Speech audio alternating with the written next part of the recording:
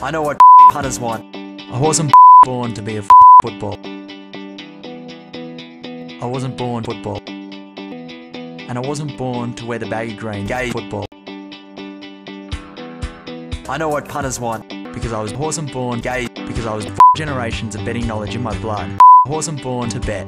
Bet online with me at tomwaterhouse.com and that knowledge will be yours.